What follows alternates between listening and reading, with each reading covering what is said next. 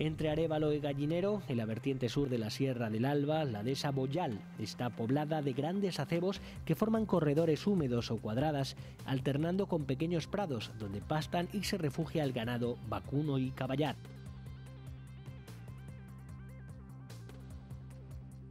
Está catalogado como reserva natural por ser uno de los mejores ejemplos de bosque de acebo de España y de Europa.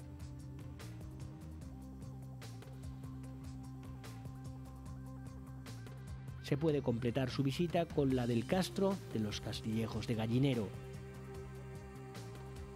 Una forma de sentir nuestros pueblos.